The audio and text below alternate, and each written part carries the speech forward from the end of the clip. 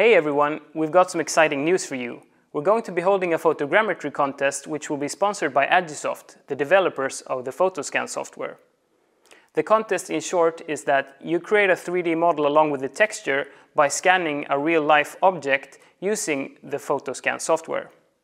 And if you don't have any prior knowledge of working with photogrammetry or Photoscan, don't worry, we've got you covered.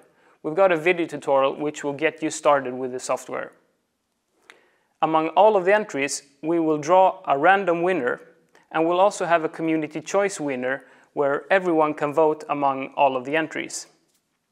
Now, both of these winners win a license of the Photoscan software courtesy of Agisoft. For full contest details, check out our Facebook page and good luck.